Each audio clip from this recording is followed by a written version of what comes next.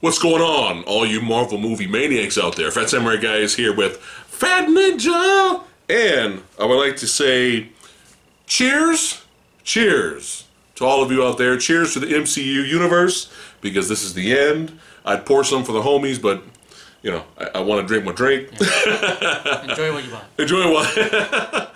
but cheers to all of you out there that have been uh, fans since Iron Man 2008 and have come along with us uh, in this journey all the way up to it's been 11 years correct 11 years. yeah, all the way up to uh, Avengers Endgame. That's right. And have invested and put in the time, the blood, sweat, and the tears, and have The, been, uh, have have gone through the the roller coaster of the MCU of the up and down roller coaster of generic bland to amazing and entertaining and, and unbelievably awesome to back to generic average.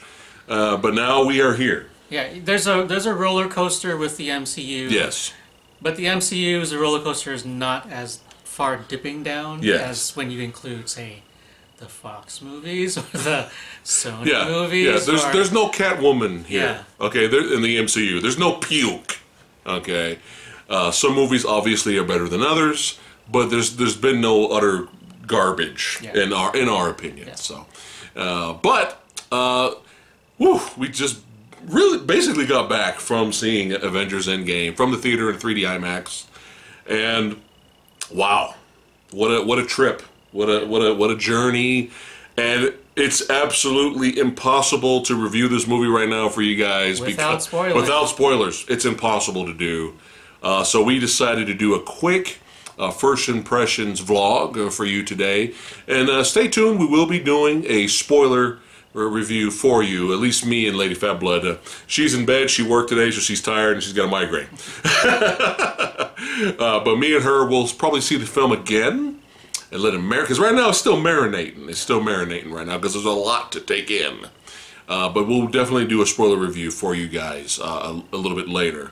It's a three-hour movie. Yes. I did not have to go to the bathroom because I prepared for that. yes, we went before. But some of you may like look at the app and say, "Hey, Skull. when am I supposed to go to the, bathroom during the movie?" Like, okay, you're you're gonna do the thing you're gonna do, whatever. if you're watching this uh, little first impression, you're probably a fan. Yeah, you're probably a fan. Yeah. Or at least curious. So, well, that's right. That's right. Thank you, Mr. Neenan. That's right. An awesome, awesome homie and friend and fan of the channel made this. That's right. Can represent Hulk, Phat Samurai Guy style right there. So, No more you guys are stairs. kick out of No more stairs, yeah. So, there's not going to be any spoiler talk in this. Just a quick first impressions vlog for you guys. So, all I can say is right now, uh, we highly recommend that you guys go out and see it. We highly enjoyed it. It's definitely not a perfect movie, but then again, a lot of movies that we would usually rank five stars are not necessarily flawless. I mean, um, Captain America: Winter Soldier could be considered a five star movie, or maybe one of maybe the first Avengers film, maybe Infinity War, definitely Infinity War. But there's always flaws in uh, what, what do you call it? Nitpicks. Nitpicks or or convenient Yeah. plot retconning Yeah. or you know we got we we written ourselves in this situation and let's conveniently grab the MacGuffin Yeah. and write ourselves out of it. And you you do get a little bit of that in here. So I mean lady lady Fat Blood if you guys stay tuned she's probably going to go into it a lot more. So uh, she did enjoy the film also if you guys are curious. But yeah we highly recommend that you guys go out and see it. Um, the film I really can't really talk about the plot that much, but it's oh, we can at least give you guys a warning. And the warning is this is a totally different film to what and to, excuse me. Oh, I'm drunk already. totally different film to what Avengers Infinity War was. This is not a nonstop action thrill ride movie. Right. Okay, so just a warning for you guys. There's more of a, a burn towards that. Yeah, slow burn yeah. towards that. We're not going to tell you what happens at the end. We're not going to talk about the third act. Uh, but we just want to let you guys know because if oh they're going to go after Thanos and we're going to have this big huge no no it's not that type of movie. Um, sh- shit does happen. they do get down. That's all we can say. They get down, and you When they get down, they get down. yeah, and it's fucking great. And there's definitely some fan service. Yeah. Some fucking badass fan service for you for you I guys think, out I think. I can say this without spoiling. Okay. There's emotional scenes throughout Mm-hmm. the movie paying respect to some of the movies that came before, Yes. which yes. is pretty interesting that they went that route. But I'm glad for it. Yes, it, it makes you feel rewarded as an MCU fan. Yeah. You feel rewarded that you've invested your time, and there's like you said, like we, like I was saying, like there's a lot of fan service, and uh, you you do feel like you didn't waste your time, all these 11 years of investing in the MCU. So if you're not invested in the MCU, you don't really care about these movies. And, and that's perfectly fine. If you guys like something else, that's perfectly fine. If you're a popcorn non-Marvel fan, will you like this movie? What do you think? I think you'd have a tough time with a lot of it. You- You, would definitely not get I- anywhere near as much out of it. I think they'll be okay, yeah. but I don't think they'll be invested in the characters, especially when certain things happen to certain characters that we're not going to talk about. Uh, they probably be like, "Well, who the hell was that?" Mm, okay, There would be a lot of Yeah. that for someone who's not a Marvel fan. Yeah. You're gonna not know a lot of yeah, people that and that's perfectly fine. If you guys hate the MCU and you think it's bullshit, that's fine. We just want to throw warnings out there that you're probably not going to be invested with the film. If you So, like state of the art effects, you'll be fine. yes, If effects you are like good. Solid action when it's there, Yeah. you'll be fine. Yes, If you like, um, comedy. yeah, There if are you- some funny moments. Believe it or not. Yeah. There are and some if you like moments. seeing how Marvel's de-aging of actors is off the charts amazing, Yeah. you'll like the movie. yeah, you will enjoy the film. So there's there's some comedy where it, where it needs to be. Yeah. There's definitely this is more of a character piece. This is more. This movie is really more about uh, people dealing with loss. You know what I mean? And dealing with loss and how to move on the best that they can with their with the, with their abilities. So that's kind of the that's kind of what this is. This is not necessarily a Thanos film. No. If you you know Thanos had his previous movie, okay. so this is not a Thanos movie. He he's there. He's there. And he's prevalent where he needs to be, but this is not a Thanos film. So just remember, this is more of a. uh, There's, there's definitely a slow burn aspect to the film, and it's definitely a character piece uh, type of vibe Yeah. with the movie. Uh, Jeremy Renner's great. Um, if you never were a Hawkeye fan, that's perfectly fine. You might be But one now. you might be one uh, after this movie. I really enjoyed Hawkeye. Everyone gets their chance to shine. Yeah. Yeah, Uh, and all of all the actors do a great job. there's Easter eggs aplenty, Mm-hmm. including for fans of Community. Yeah, he, he's the community guy. I've never I've seen a few episodes. I haven't seen a ton of it, but, But- I know enough. Yeah. There's community references in this film, but for some reason. But Yeah. um, yeah. So definitely uh, enjoyed the ride, even though there's a few issues and nitpicks here and there. But I think what you were stating earlier is that overall, as a movie-going experience, Yeah. the good highly overcomes and outweighs the bad. Yeah. That's what this film. saw. Um, anything else without spoiling anything? Yeah, I mean, you know, there's there's nitpicks, Mm-hmm. there's plot holes. Um, Yeah, definitely possible plot holes. yeah. We don't know how many, but we could say there's definitely plot holes. It's possible plot holes But in the film. But for fans, you will be serviced. You will enjoy a whole lot of stuff. Yeah. Yeah. Yeah. Anything else? Without spoiling, I don't It's, know. it's hard. This is a very difficult video to do. We actually originally wanted to do a review. And then the more we sat down and thought about it, we were like, we can't, we can't, we cannot do it. So otherwise the review is going to be things happened and uh, stuff and blah, blah, blah. So we at least wanted to let you know uh, that we did enjoy the movie a lot, uh, despite a few issues. And uh, we'll definitely do a spoiler review for you guys. I keep feeling like I'm missing something. But everyone kills it. All the actors do a great job. Everybody has a chance to shine. But yeah, just remember that going in. This is not a Thanos film. Uh, this is not a non-stop action thrill ride type of movie. Okay, but you will be satisfied if you invested your time in the MCU, you will be satisfied by the end of the film. So the audience was cheering, they were they were, they were uh, clapping, and uh, some of them were crying a little bit. So some of you, not all of you, might want to bring your tissues uh, to the game, but we're not going to say anything. I'll admit I got misty eyed at certain Me, scenes. me too, but you know, Um, but I'm not going to say what right now.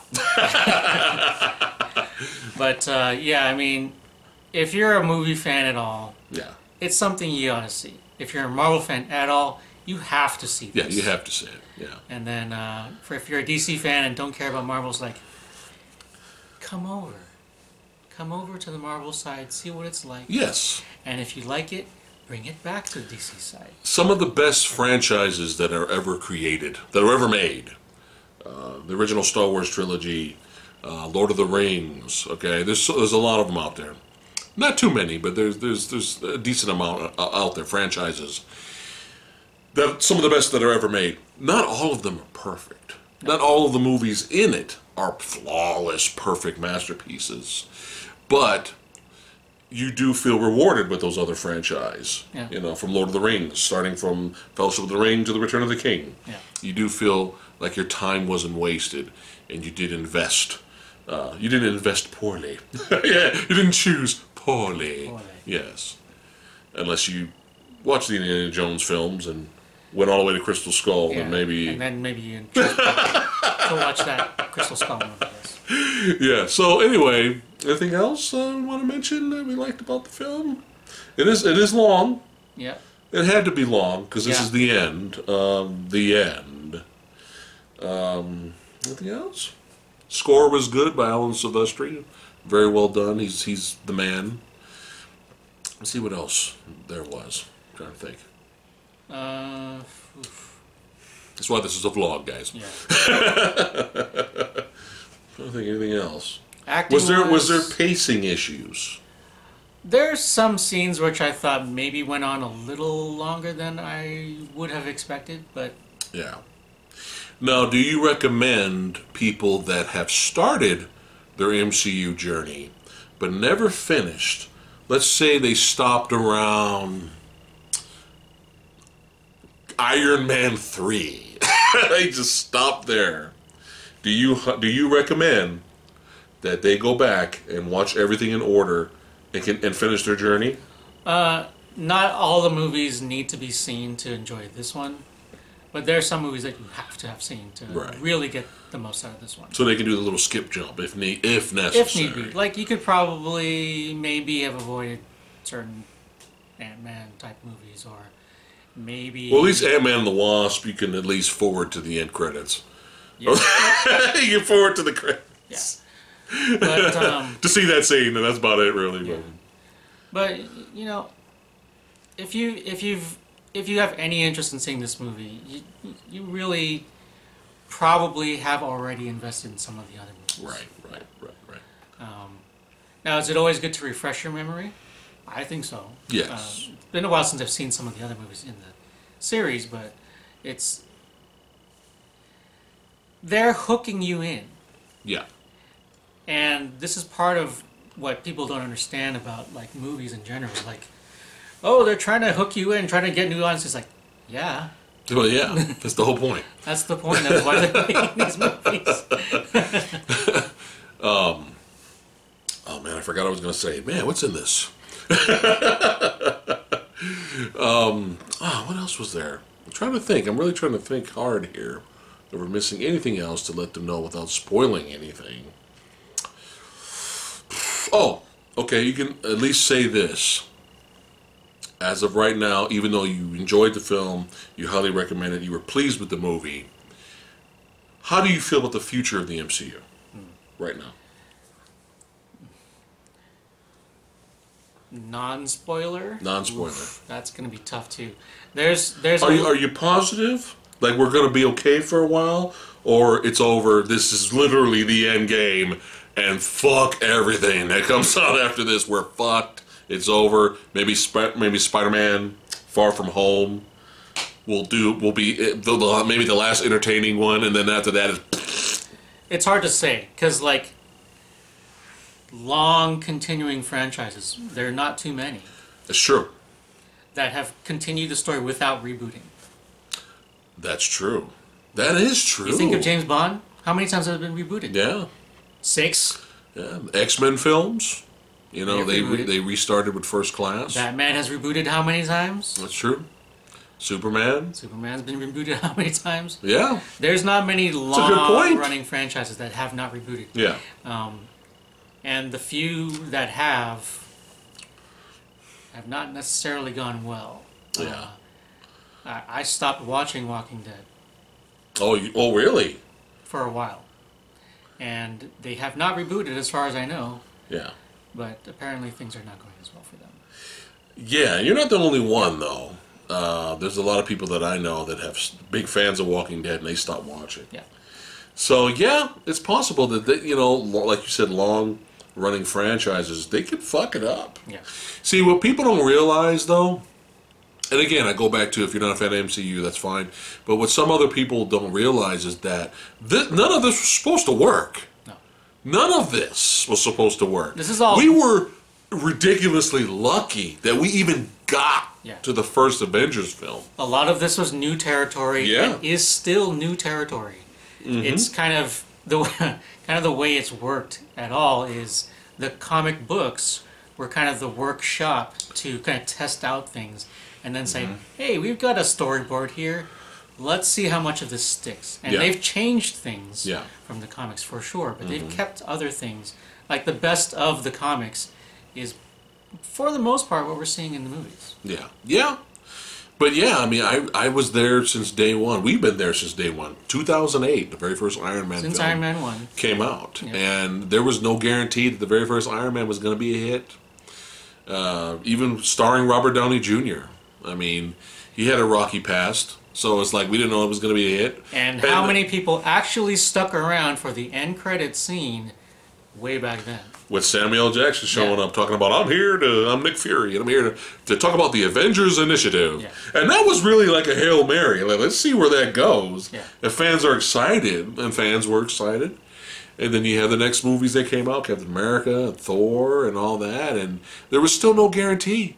I don't think, in my honest opinion, I don't think we would even have gotten to the very first Avengers film if Captain America and Thor tanked if they completely Yeah. bombed. I don't think they was like, well, there's no point in investing all this money in Avengers, Yeah. you know. So there you go. Thor could have tanked, Captain America could have tanked, and we would we wouldn't be here. You know what I mean? So But also, movie going was not as um, super blockbuster like dependent Mm. as it is now. in terms of the franchises, Yeah. yeah. Everyone now, it's like they they're already thinking three films ahead. Like we gotta, we're gonna do this franchise. All right, let's just make sure it's a trilogy. No, make sure the first movie's fucking good first. Damn it! Yeah. And that's where Green Lantern fucked up. They didn't. They Ryan Reynolds Green Lantern. yeah, they Ryan Reynolds Green Lantern. They they didn't think of, they were thinking about trilogy franchise. It's like no, Sinestro. Come on, it's one. He's one, one of the best Green Lantern va- vi- villains ever. He should have been the main villain of the first fucking movie. When the DC animated universe movie Green Lantern First Flight did it perfectly, better than your live action movie. Well, there you go. Yeah. So you got to you got to come out guns a blazing uh, the first time if you want to, you know. And that's it's- hard. I mean, it's we- very difficult to do. We respect anyone that tries. Mm-hmm. You know, it's it's hard to, to keep something going. Even Ant Man should have tanked. Yeah. Ant Man should have bombed, but it did it did well. Yeah. So It wasn't a super mega hit, No. but you know, it did it made its money. good good enough. Mm-hmm. Um, and you know there are many other franchises that have done a similar thing, tried to, and done poorly. Yeah. Yeah. And uh, we we know the names of many of them. We may not say them necessarily in this video, uh, but Yeah. uh, oh, I just remembered one really important thing to say. I can't believe I forgot about it. one really important thing to say. If you guys, like us, well, not maybe not, not the Fat Ninja, but me and Lady Fat Blood, if you were worried and concerned that Captain Marvel was going to fuck up the movie, okay, Nothing to worry about. Okay? She is used perfectly in this film. They did a good job with Captain Marvel, I have to admit, uh, in this film. But she, just as a warning, not a spoiler, but as a warning, she's kind of barely in the movie. So she's not in the movie that long.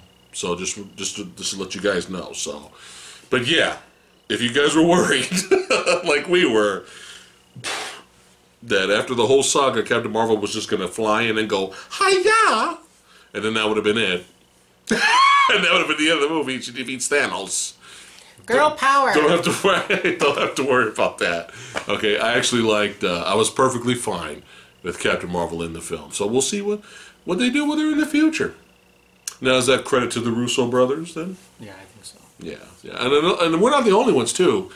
Uh, we watched a few other videos, and some people, some other people mentioned the same thing that um, they were more invested and interested in Captain Marvel in this movie than her own fucking movie. so, Uh, just for you guys, in case you were curious about that. I, I don't think I've uh, mentioned my thoughts on Captain Marvel on, on this channel yet, but Proceed, sir. Uh, yeah, I didn't I didn't hate it. I didn't love it. Right. I had problems with it. You were kind of just meh. You consider it I an think- average Marvel film? I think it was okay. It, it wasn't great. Like I didn't have as many problems as, as you all had with it. I, I didn't On our think it was perfect. On our rating scale that we use here on the channel, three's average. Yeah. Where would you rank Captain Marvel? Uh, when I first saw it, I think I had it in the kind of three and a half ish range. Okay. With more 3.5. time, with more time, I'm thinking uh, yeah, I could see the, the problems and seeing it again. But as of right now, it's above, Yeah. it's above average. 3.5. Yeah, it, Okay. That's fair. but there there are problems that I have I have had with it. And Right. Right. I don't have those problems that I had with it for Endgame. Right. There are different problems. Yes. There are problems. Yes. Um, but uh, It's not a flawless, perfect movie. There are some issues. but we But- would have to spoil things to really talk about. But again, again, you can nitpick a lot of things, and we're not just talking because oh we're biased. No, we're going to talk about the problems when we when we get a chance to. But And and here's another again, another the good highly outweighs the bad. Here's another quickie thing. We're gonna see this movie again. Yeah, yeah. Before we even do the spoilers review for you guys, we're going to see the movie one more time. So uh, because we need we need to invest just a little bit more with it before we uh, get technical Yeah. on the channel. But uh, I think that's good. I think that's it for for the, today's video.